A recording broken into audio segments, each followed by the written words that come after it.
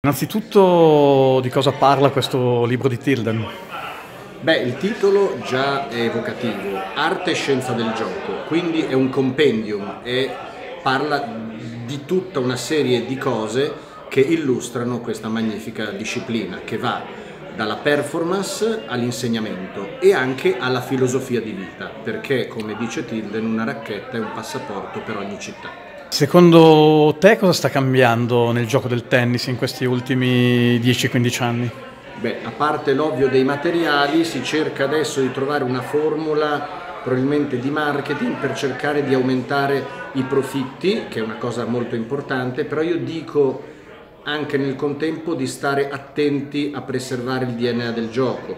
Il XIX secolo ha scoperto il tennis e altri meravigliosi sport, il XX li ha lanciati nell'orbita dell'audience internazionale, speriamo che il ventunesimo non li deformi e li renda un puro show business. Questa è la grande responsabilità che ha il ventunesimo secolo. Io non sono mai precluso a priori alle sperimentazioni, facendo anche ricerca.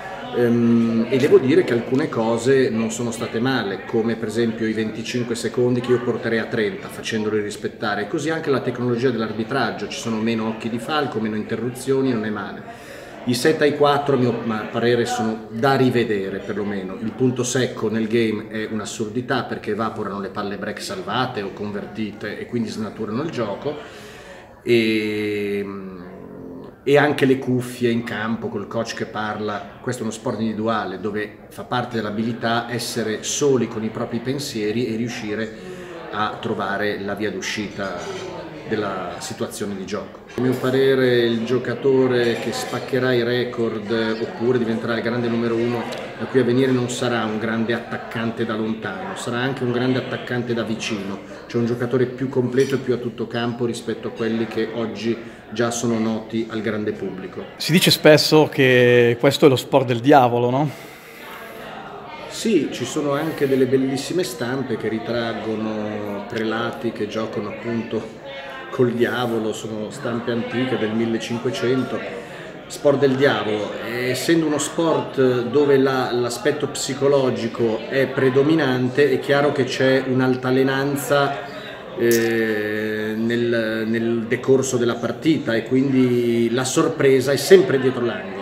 Cosa ti senti di dire su Filippo e su questa generazione di, di italiani come possono essere Sonego, Quinzi, Eremin, tutta questa generazione 96? Ma io metterei dentro anche Gallovic che è stato un mio allievo fin da piccolino, dagli 8 ai 15 anni, quindi auguro loro ogni bene e spero che possano ottenere grandi successi col tennis, anche se mh, mm, non è facile ehm, sono a mio parere leggermente in ritardo rispetto ai coetanei stranieri, speriamo che riescano a recuperare, mm, credo che nel caso di Quincy con il nuovo allenatore e anche Baldi mm, adesso siano più incanalati verso questa possibilità chi vivrà vedrà. Come mai maturiamo così tardi ecco, nel circuito fondamentalmente?